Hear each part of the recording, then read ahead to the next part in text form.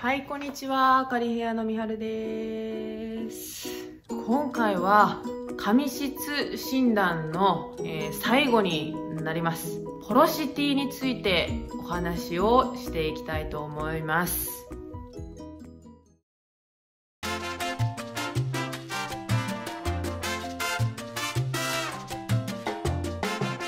まず、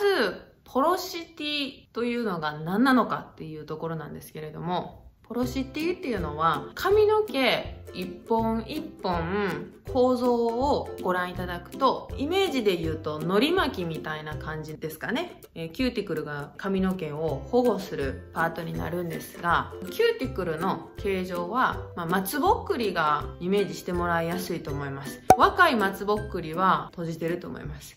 よくクリスマスツリーとかの飾りで使うポテッとした丸くなった松ぼっくりはあの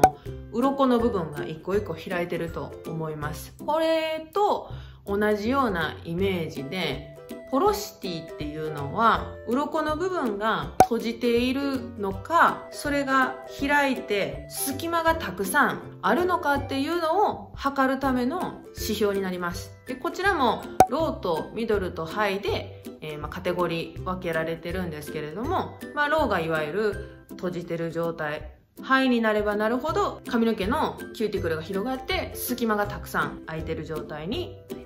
ます。ミドルの porosity っていうのは基本的に正常な porosity の状態っていう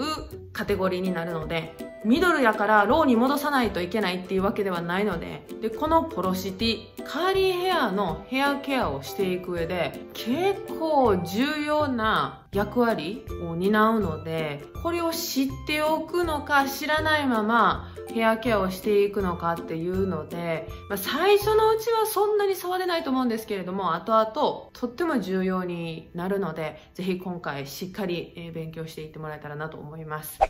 でこのポロシティなんですけどこのキューティクルの状態っていうのは日々変化してます。でその日々変化しているっていうところもまず知ってもらいたいのでどういう時にキューティクルは開いて閉じるのかというところからまずお話ししていきたいなと思います。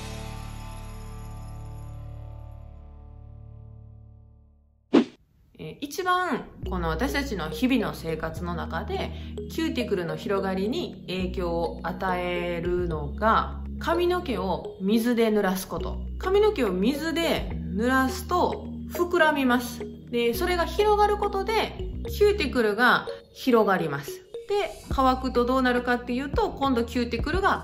閉じます。濡れたら広がる乾いたら閉じるっていうのがベーシックなこのキューティクルの構造のまず一つになってます。でもう一つが生えたての髪の毛っていうのはツヤはあってやっぱりキューティクルが閉じてます。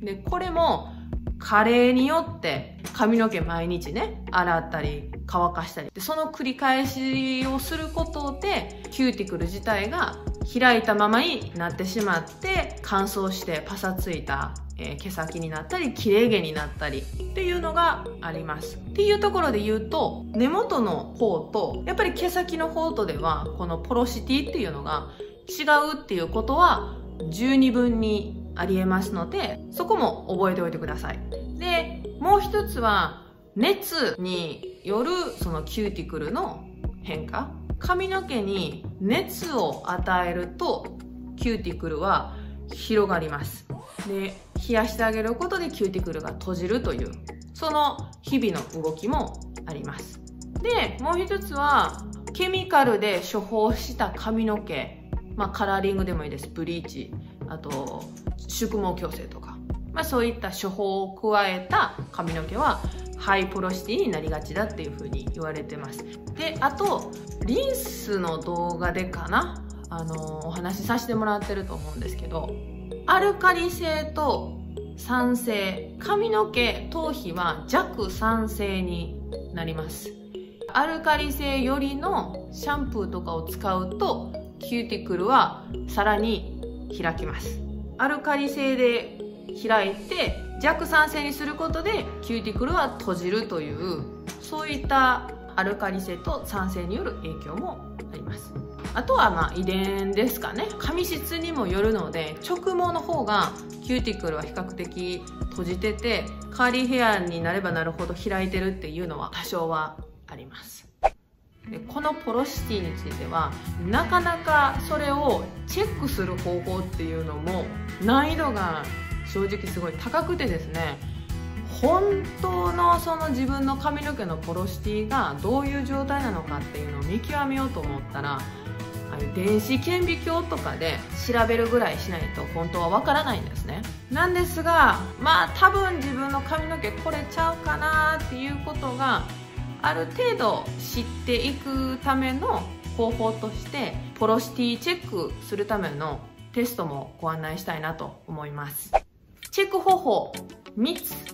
あります。テスト1髪の毛の手触りでチェックする方法。髪の毛をですね、えー、抜け毛でもいいんですけど1本ちょっと捕まえていただいて根元から毛先までこう指滑らします。でテストはこれからです。今度毛先から根元に向かって帰ります。この戻る時にちょっと私もこの髪の毛ちょっとハイポロシティ気味になってるんですけどこの根元から毛先まで行った時の指の感触を覚えていただいて戻る時に根元から毛先に行った時とほぼ変わらない手触り。っていう方はローポロシティになります。であんまりしっかりつかみすぎても良くないしあんまりうっすらうっすらあんまりこう軽く持ちすぎてもダメなんですけどちょっとその加減は何回かこうやりながら見てもらいたいですが。でこう戻るときにちょっとなんか引っかかりはあるけどまあスーッと一応根元まで指戻ります。なんか違和感はあるけどっていうのはミドル。でハイポロシティの方は戻るときにカカカカカカッと引っかかるのはハイポロシティになります。テスト2つ目。以前すっぴんテンパというお話をさせてもらいました。何にもヘアケア用品をつけてない状態の髪の毛を、まあ、チェックすることのちょっと大切さというか以前の動画でご紹介してるんですけど次回すっぴんテンパにまたしますっていう時にぜひこれも合わせてチェックしてみてください。でこの2つ目のテストがすっぴんテンパにした状態で自然乾燥します。どれぐらいの時間で乾くのか完全にっていうところでもポロシティのチェックができます。もし8時間以上髪の毛が乾かなかったっていう方の髪の毛はローポロシティになります。でちょっと葉は大きいんですけど2時間から8時間の間で乾いたっていう方はミドルのポロシティになります。2時間以内に乾いたっていう人がいらっしゃったらハイポロシティになります。で3つ目のテストが同じようにすっぴんテンパで今度完全に乾いた後水だけの入ったスプレーでこうシュッシュッシュッとかけていただきます。何にもつけたらダメですよ。あのリーブインコンディショナーとかヘアオイルとか何にもつけてない状態のもう本当のすっぴんテンパの状態にお水のスプレーをかけます。それで髪の毛の表面にパパパパッとその粒がずっと残ってるっていう髪の毛はローポロシティになります。いわゆる水を一切吸収しない状態っていうことなのでキューティクルがま閉じてるという判断になります。でミドルの方はこうシュッシュッとした時にローの方と同じように水滴っていうか、まあ、ビーズみたいなのは一時的には見えるんですけどしばらくすると自然とこうなくなっていく。パターンはミドル。でハイの方はシュッシュってやったらすぐに髪の毛が濡れる。そういう方はハイポロシティになります。以上この3つのテストうまく使っていただいてご自身の髪の毛の状態ポロシティのチェックをしてもらいたいなと思います。このテスト3つご紹介したんですが中には3つとも結果が違うっていう方もいらっしゃると思います。ねどうしても自分の感覚で判断しないといけないっていうこともありますし。で髪の毛のね部位によってもこっちはハイでこっちはローっていうケースもありえるのでちょっと判断に困りましたと。どれかわからないですっていう方にちょっとプラスアルファでチェックポイントをお伝えしておきます。1つ目ローポロシティの方っていうのは乾いた髪の毛シャワーに入って水かけた時にこう全部髪の毛濡らすのに結構時間がかかるっていうんですかね。っていう方が多いです。いや私もそうですっていう方でもしヘアオイル使われてたらそれはもうヘアオイルのせいなのでそれだけはちょっと間違わないようにしていただかないといけないんですけれどもあくまでもすっぴん天パで水をかけても中の方とか濡れへんっていう感覚が普段からある方はおそらくローポロシティになると思います。で途中でもお話ししました。ブリーチをしたりカラーリングをしたりあとは宿毛矯正やヘアアイロンで普段からずっとスタイリングをしてます。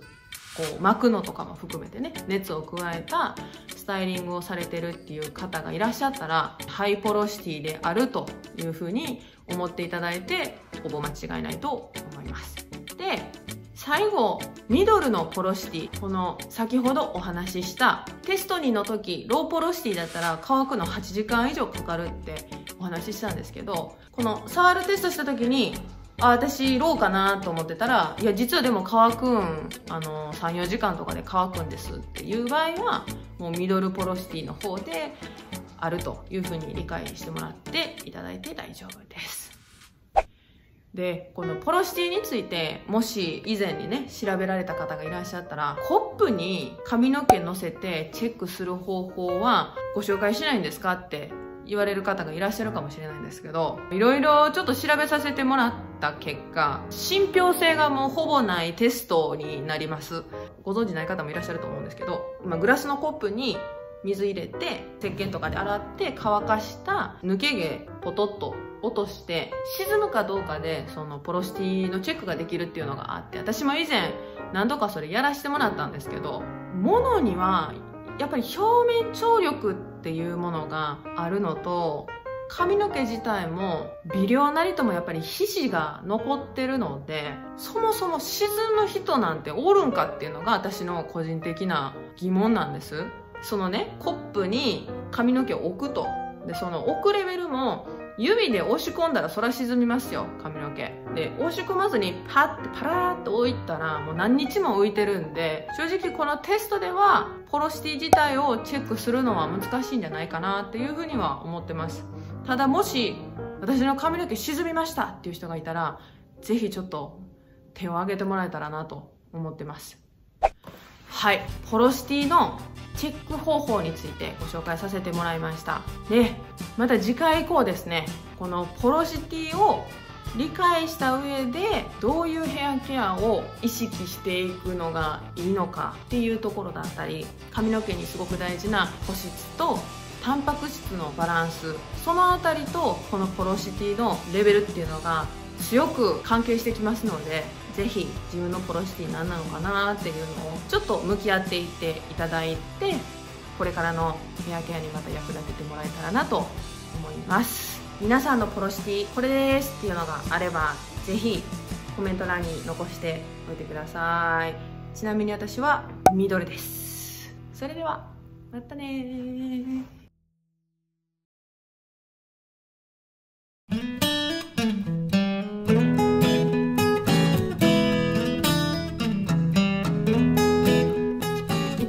聴いただきありがとうございます。チャンネル登録の方もぜひよろしくお願いします。